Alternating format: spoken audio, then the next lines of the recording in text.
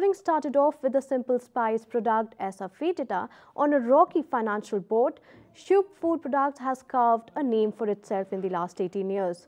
We spoke earlier to Mr. Gaurav Gambhir, founder of Shubh Food Products in Mumbai. Have a look. You started your journey from a very humble beginning. Today, Shubh Food Industries has gained recognition as an internationally supplier of quality hing.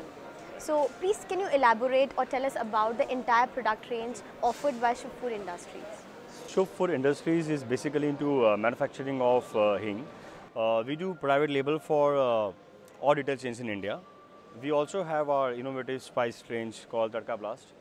So, and also we have few more products which is in pipeline. Uh, will coming in 18 or 19. Mr. Gaurav, can you please elaborate Tadka Blast?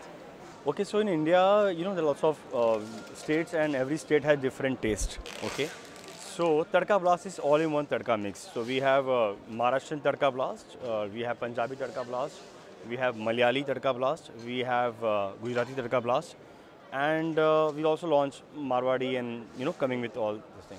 So you just add to add one spoon of Tadka Blast and your food is done.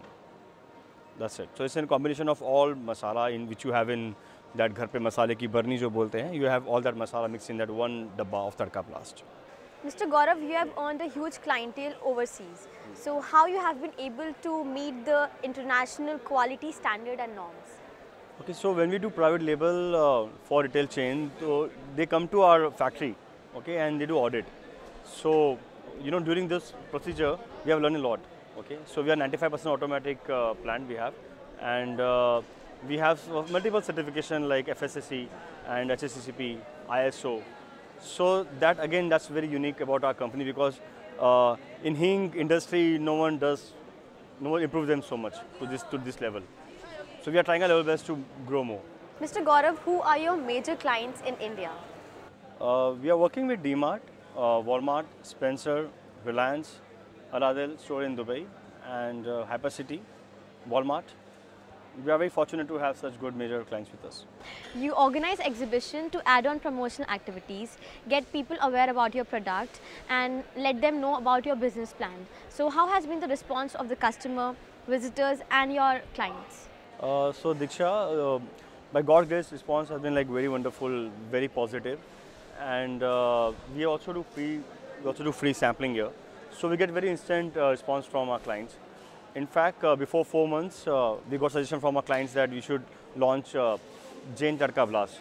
So four months back, we got this uh, feedback, and today, yes, it's there, Jain Tadka Blast. So we are launching Spicy. Spicy is uh, masala spray.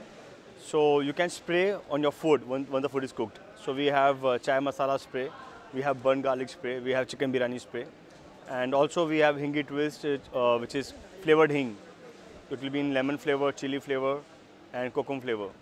Mr. Gaurav, how you are empowering Make in India initiative of our Honorable Prime Minister? Uh, see, there are lots of things like, you know, there are 10,000 spices companies who are in India. So everyone is making spices, okay? But Make in India, uh, I think it should be more about value, okay? So when you export your products, spices to abroad, it should, it should represent India. It should represent the taste of India, right? So it should really bring good value. And that's how I think uh, even Shubh Food Industries is in the same line. Okay, so we really want to uh, make our country proud by exporting Indian spices to all over the world. Here we'll take another short break. Keep watching Emerging SME.